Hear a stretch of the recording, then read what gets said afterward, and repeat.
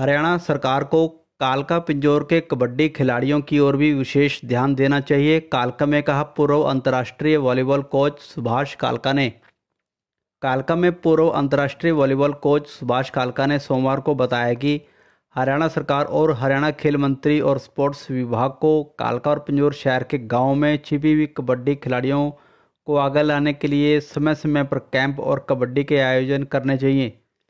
पूर्व अंतर्राष्ट्रीय volleyball coach Subhash कालका ने बताया कि जल्द ही हरियाणा में भी खेलो इंडिया कबड्डी लीग प्रदेश में भी होंगे।